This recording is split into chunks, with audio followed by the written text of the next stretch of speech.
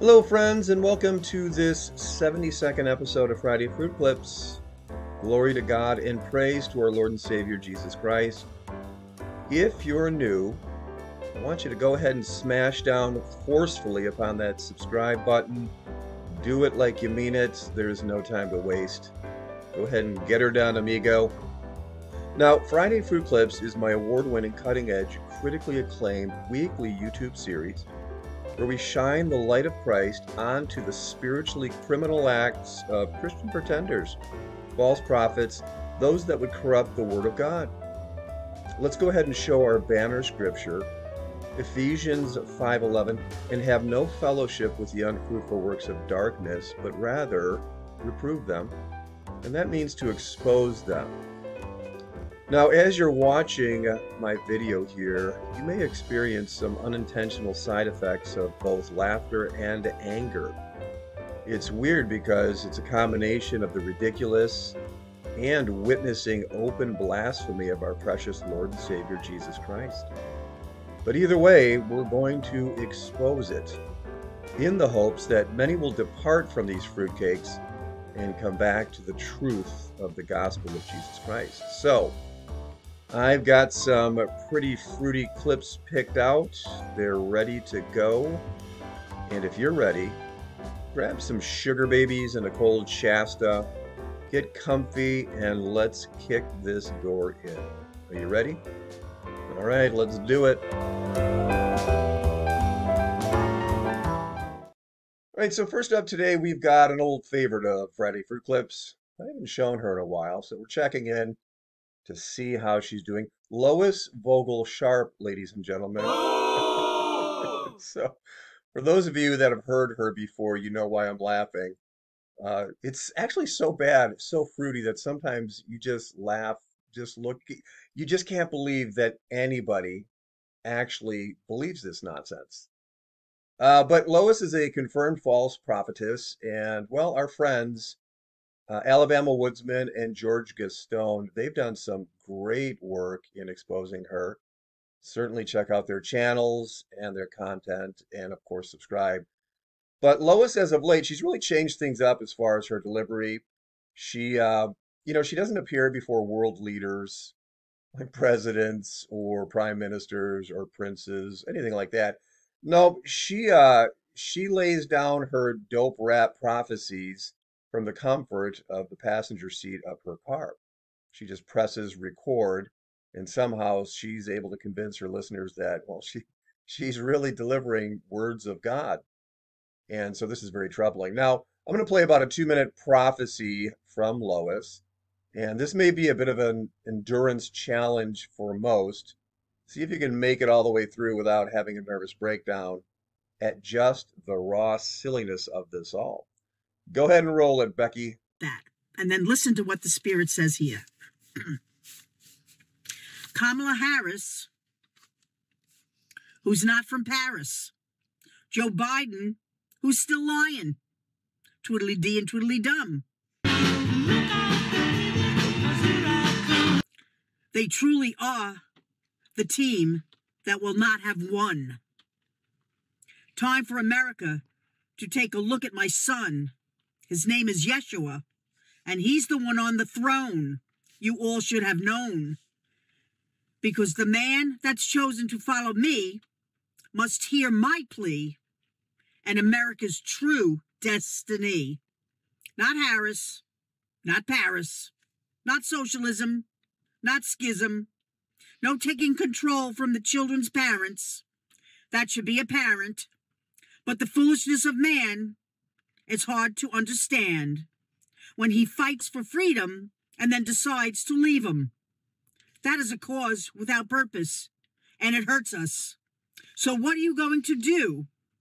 This is still not through, and there is time to change your mind and come and dine with me, those who are mine. Parents, do not allow the government to make decisions for your children. It's not some pilgrimage, it's torture for children cannot decide for themselves when they're not even 12. Use some common sense. It's your defense against the evil of your day, which is to take your freedoms away. Don't let this government stay. Cast them away. They have nothing true to say. Do not delay. Get out and vote today. How about I just go eat some hay? I can make things out of clay and lay by the bay. I just may. Trump, by Forrest Gump. He's the one who's been up front. The other side lies.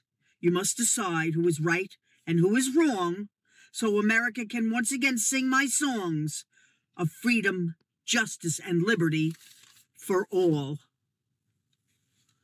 That's from the Father. Okay, so wow, where do I start? Uh, did she did she actually say Kamala Harris, who's not from Paris? It's just crazy. Do you think that's like an important detail that God would want to put into this alleged prophecy? Kamala Harris, who's not from Paris. Like there were some people out there thinking, hey, hey, Herb, is Kamala Harris from Paris? Anyway, sorry. Uh, so what is Lois doing here? Well, she, like so many other false prophets, well, she's degrading and reducing our God to being nothing more than a writer of what, Dr. Seuss children's rhymes. Because Lois, well, she's unlearned and she's childish. She mocks the living God as you know, God that's out there giving second grade rhyming poems in lieu of the actual or actual biblical scripture. And, and did she actually say that God said, Trump, my Forrest Gump? I'm not a smart man. Golly, I don't know what to say. Uh, like I could say, good grief. It's crazy. So Lois again hijacking the salvation of Jesus Christ and turning it into nothing more than a political commercial for Donald Trump. Now, where's the damage? Here's the damage. Someone broken, somebody's out there. They're searching for meaning. They're searching for the one true God as found through Jesus Christ. They need the salvation of Jesus Christ. And they come across this nonsense. You know, they may think that Christianity is false because even a lost person can hear this and conclude easily that it's crazy. And so they'll apply that to Jesus based on the fact that they perceive that what she's a prophet, she's a Christian leader. And so they'll conclude that it's all silliness and they'll shut that door. All because of Lois can't keep her narcissistic mouth shut. She is degrading and blaspheming and certainly drawing great reproach unto the good name of Jesus Christ. So, as always, uh, stay away from this false prophet and mark and avoid her as we conclude this first segment and let's move on. All right, so next up we've got, well, there he is, Daniel Adams, Demon Slayer superhero. so, uh, Daniel well, he's an unqualified preacher slash demon slayer. Now, if there were a word stronger than narcissism, it still wouldn't be strong enough to describe Daniel Adams' ego. To say that this man's in love with himself, well, it's much understated. So, normally, uh, when we feature Captain Supplements here, uh, we usually show some action clips where, you know, he's performing his fake acts of demon deliverance. But today, we're going to listen to some clips where, well, he's preaching. Oh, but no, he's not preaching the gospel. No, th these are clips of Daniel preaching about, well, himself and how awesome he is. So uh, he's in Australia and he's prepping the crowd to receive awesome superhero things that only he can do. And so the gullible followers are there to receive all of this. We're going to listen uh, to, well, we've got about four or five clips here, and we will uh, listen and comment as we go. Let's roll that first one. All right. I am going to bless you tonight and tell you how awesome you are, because that's what you are, and it is just, it is what it is. I'm not here to look at your sin. You're looking at it too much already. Why am I going to just show you your sin some more? All right, so right off the bat, Daniel is telling him what he's going to do. He's uh, he's prepping the victims. Well, I'm not going to preach the gospel. I don't care if there's anybody out there that needs to actually get saved and hear the salvation of Jesus Christ, to be convicted of their sins and to repent of their sins. No, he's uh, he's going to tell them that they're awesome. You're also, I can't even do his accent. I don't know what that is, but of course the audience claps with approval. So certainly no gospel being preached tonight. They paid good money to be entertained with itchy, tickly ear stuff. And Daniel says, I'll oblige you, sir. We're going to have some fun tonight. So there you go. First clip. Let's watch the second one. The woman caught in the, in the act of adultery. He got around some of the dirtiest people and they became clean. Boom.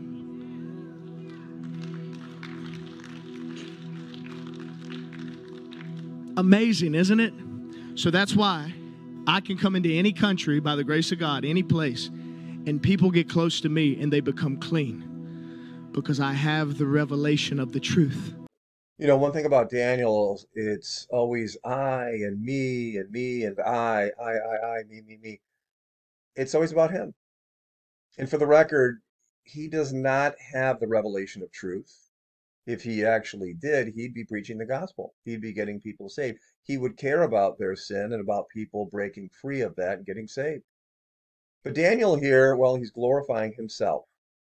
He's bragging before this audience. And sadly, I think he actually believes his own hype that, you know, when somebody comes into his presence, well, they become clean. And here's the here's the fact, folks. Daniel doesn't cast out demons. He imparts demons he imparts demons. He's unqualified. Uh, but think of the stupidity of this claim. If that were true, he wouldn't need to put on his theatrical shows where, you know, he does his spirit kicking and slaying and uh, talking to demons and casting them out. By his own words, if he was there, they're all in the presence of Daniel, they would all become clean. So, anyway, there you go. Let's move on to the next clip. Yes, I promise. I'm over here because God has sent me here to wake somebody else up to get the job done. And I wonder who it's going to be in this place. There's always one. They get electrified, electrified, then their life gets changed forever. Some of you in this room tonight, you have barren wombs. After tonight, you will produce children. Now, friends, try to imagine the cruelty of this statement. Daniel stood up there and he said, Well, some of you here tonight who have barren wombs, well, guess what? You're going to be able to have a baby. I guess just based on the fact that, well, because Daniel's there. Imagine this cruelty. Daniel Adams toys with people's lives. This unbiblical meathead who has zero authority in Jesus Christ is standing on stage making these miraculous claims and boasts, and it's just terrible. What happens? Well, you've got simple minded couples that are both in that audience and watching online who may have been struggling to have a baby, and now this wicked fraud gives them this false hope he does this in the name of Jesus Christ, but again, he has no authority to do this. He's toying with lives, he's wrecking people. Well, what happens? Well, these people go home with this false hope, and time passes and they're still unable to have a baby. Well, guess what? Their faith shipwrecks specifically because of what Daniel Adams did there in that building on that night they conclude that, well, either Jesus isn't real or Jesus doesn't love them. Either way, they walk away from Jesus Christ because of what this alleged man of God prophesied. It's an absolute tragedy. You've got to really hate your fellow mankind to give this type of false hope. Uh, I can imagine, again, these couples, all they want is a baby, and they hear this clown say, yeah, it's going to happen, and it doesn't happen.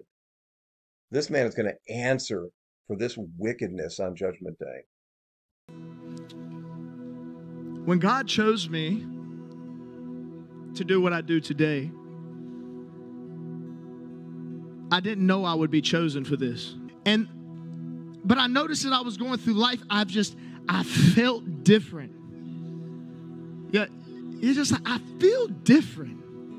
What is this feeling? And you're trying to tell everybody you're different. And you lo- you notice you started liking all the fantasy stuff and the, the cool superhero stuff. And, you know, you just wanted to be that guy or that girl, superhero, whatever. And the whole time the Lord is showing you an image of what He's making you. He's showing you that you will have superpowers from Him one day. Right?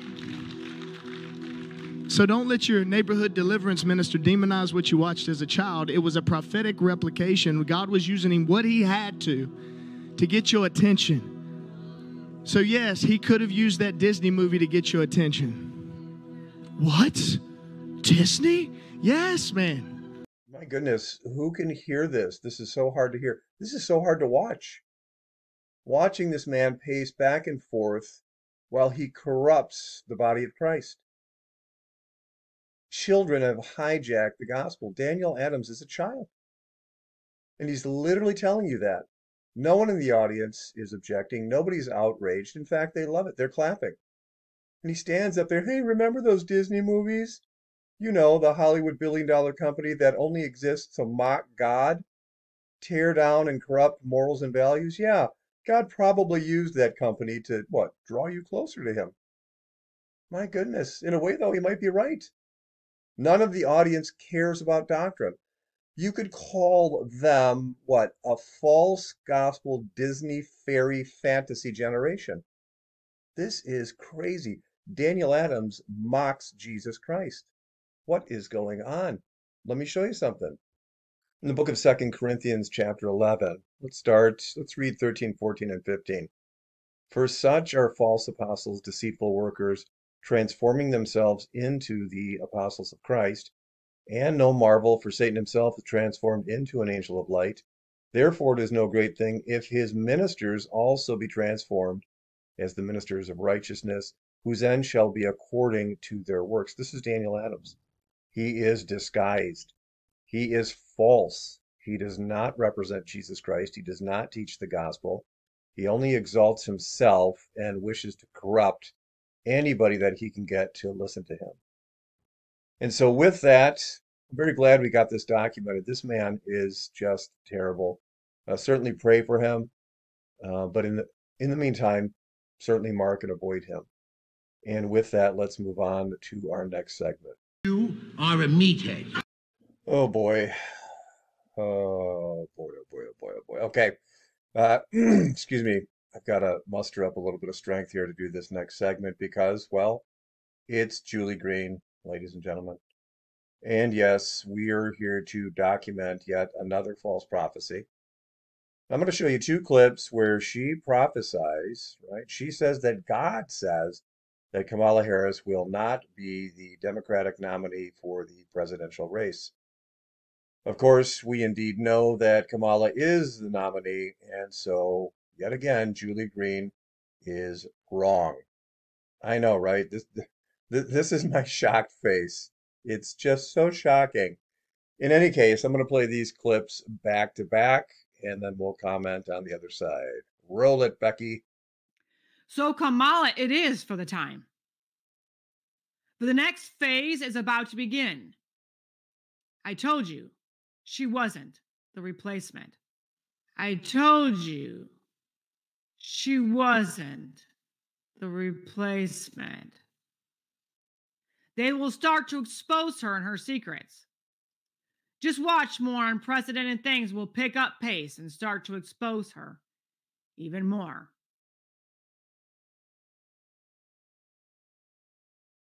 It depends on how this thing goes. This is what the Lord has been really dealing with me about. Um, if the whole replacement of the Biden, which I will get into, because even though they are trying to use Kamala, the Lord has been saying since 2021, that's not his replacement. Um, it looks like it's she's his replacement right now. That's just appeasing people right this second. All right, so you heard Julie. She says the Lord has been saying, meaning not just once, but continuously, uh, that Kamala will not be the Democratic nominee. And of course, we know that she is. She is. Her name will be on the ballot. And so this is false prophecy. So I guess this will put Julie at about, well, over 125 confirmed false prophecies. It's absolutely terrifying for this woman. She has no fear of God and no fear that she is sowing corruption into uh, a large part of the body of Christ. Well, she absolutely shipwrecks them. So the other thing that I worry, I should say wonder about, is what does it take for a follower of Julie Green to finally wake up? God said that if anyone falsely prophesies even one time, they're done. Deuteronomy chapter 18, verses 20 through 22. One false prophecy was all it takes. Here we've got Julie at over 125 confirmed false prophecies. It's not a debate. These are false prophecies. And they still refuse to biblically reject her. Yet they profess to love Jesus. It's so disheartening. But how's that going to go on Judgment Day when these people have to give an account to why they willingly continue to support this woman? It's, wow, really quite terrifying. In any case, we've got it documented, and we can end this quick segment and move on to our final one.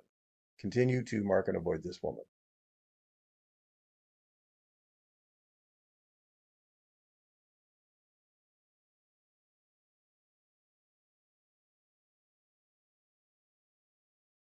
All right, so rounding off the show today, we are with Notorious False Prophet and all around Butterbean doppelganger, Brandon Biggs, ladies and gentlemen. he is one of the most over the top, ridiculous storytellers on the internet. Take a look at this video. You can see the title. I want you to note the amount of views here over 200,000. This guy has some reach. And so as we're listening, well, let me say this. I'm not sure that I need to, but I do feel compelled to give the listener a warning. Uh, that after listening to a couple of clips, your head might explode because this is some of the dopiest, goofiest infantile spewage you may ever hear coming from an internet false prophet. And so we've got some clips to watch. So ooh, get ready. Brandon says that, well, Jesus appeared to him and took him time traveling. And so Brandon saw some stuff and he's going to tell us about that today. And so with that, well, roll it, Butterbean. Now I'm going to go into uh, what the Lord showed me in the time timeline again. Okay, so the timeline I'm going to be uh, I'm going to tell you detail of what the Lord showed me when he showed he came to me as a, a massive fiery light. And the light was so bright, it literally, I, I felt my spiritual eyes, my whole body, I felt like I was melting. It, I, I, I literally said, Lord, if you don't take the and dim the light down and do something, I feel like it's going to kill me, like it's going to burn me up. And he, and all of a sudden, because he knew it, he, he was so intense. And I'm telling you, in any intensity, I've never seen anything like this before in my life. He took something and he shielded himself. And i and it was where I, he could it was like a shield. And all of the light that was shining upon my face where where i was it felt like it was blinding me. It came and it, it it came out the side of it. Came out the side of the shield. And the light was still going but it was being shaded.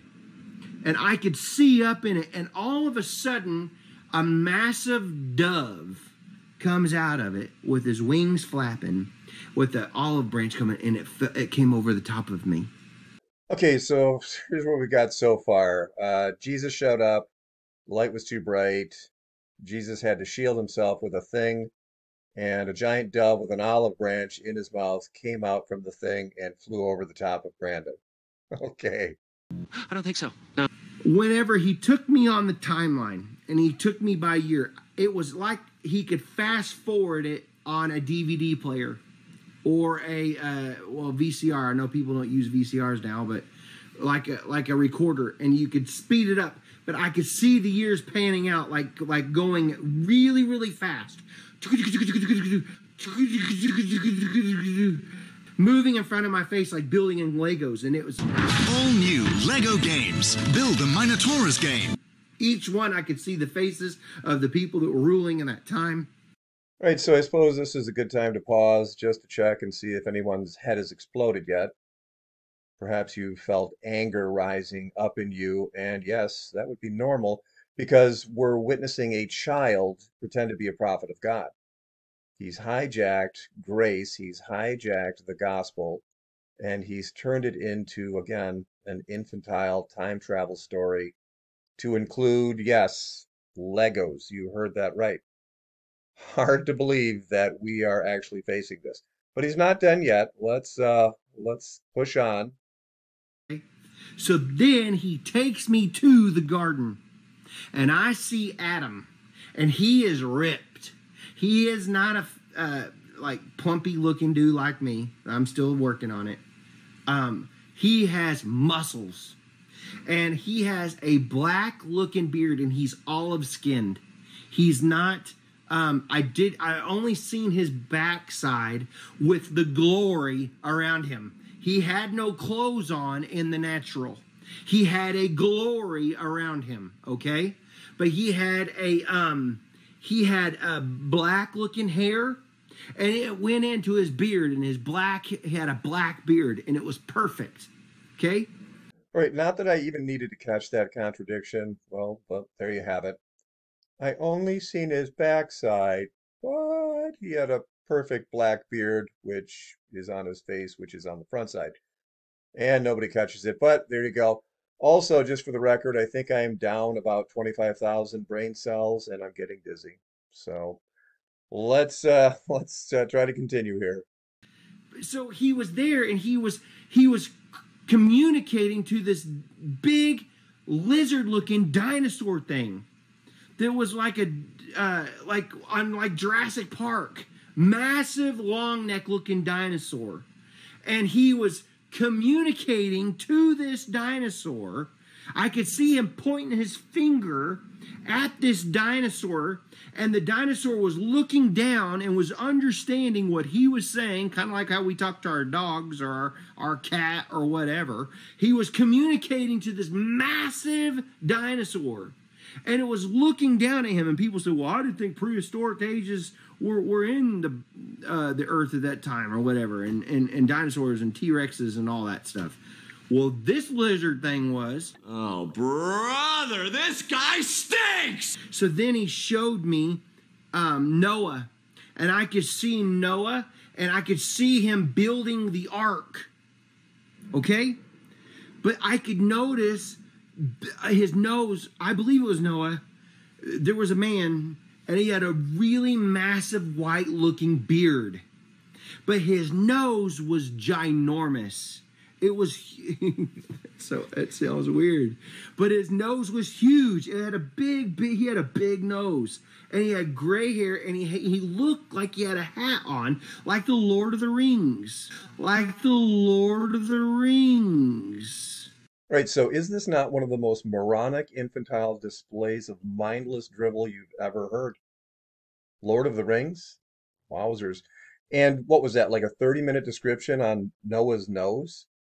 I guess I guess that was really important. Brandon really wanted us to know how big Noah's nose was. Absolutely fantastic. Also, remember, this guy commanded 200,000 people to watch this video, and the majority of those viewers think that this is real. Oh, one more thing. There's no gospel anywhere, just pointing out the obvious. No one is getting saved through Butterbean's fantasy fraudulence here. A little bit more. Hang in there with me, folks but I could notice the people around him were all dark looking. They were evil. They didn't look their their countenance were dirty and they had dirty looking faces. They were dirty like dirty, like real dirt, like real like greasy looking. Like I don't know, but there was people So there's Brandon Biggs, ladies and gentlemen. He felt it was very important that you understood how dirty the people around Noah were just very dirty, greasy, dirty. Even the dirt was dirty, I guess. Here again is Brandon making sure that he embellishes insignificant details on his fantasy story. It's just so ridiculous. He does this because he needs to embellish his very obvious lying. And uh, with that, we're, this is going to be the last clip. I don't think we can take much more because all this man does is degrade the gospel of Jesus Christ because he doesn't preach the gospel. He's one of the worst storytellers on YouTube, and yes, he's a confirmed false prophet. He's a child who thinks, well, this is just all fun. He loves the attention that he gets on social media, but make no mistake, he will answer for this buffoonery. So let's go ahead and take a look at some scripture. Here we are in the book of Ephesians, chapter 4. I'm going to scroll down. We're going to read to verse 14.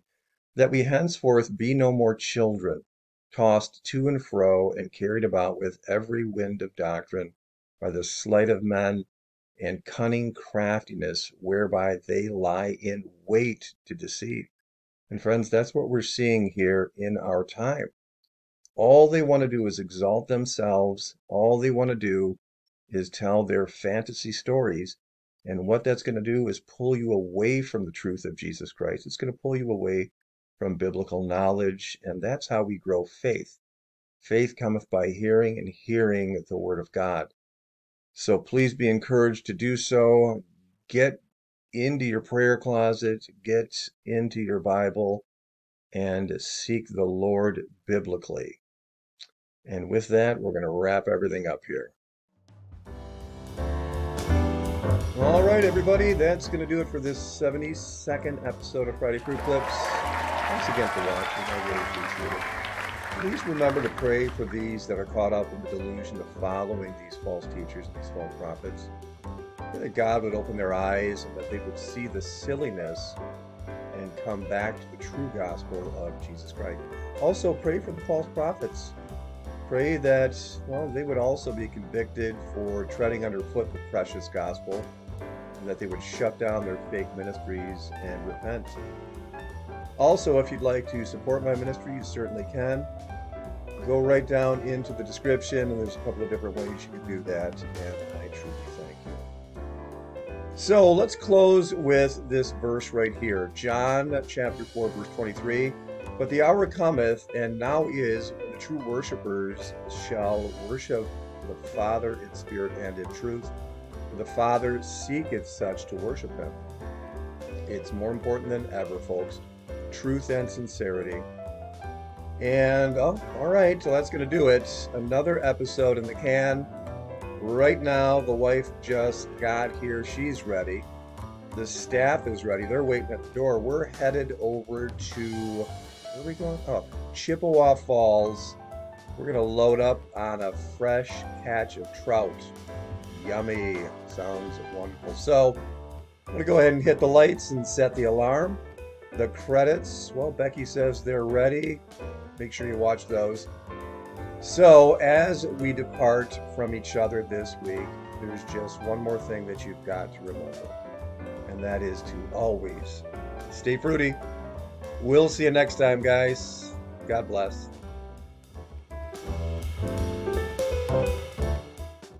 Watch this.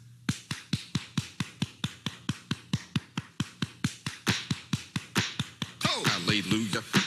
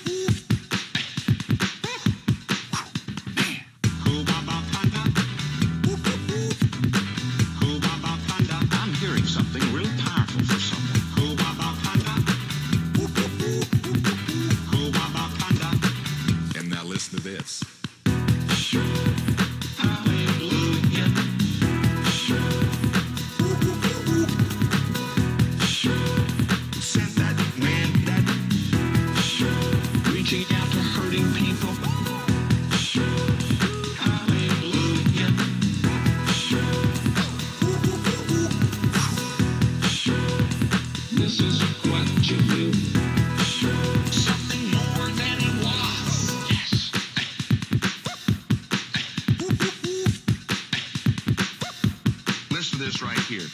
I heard then it was like the Lord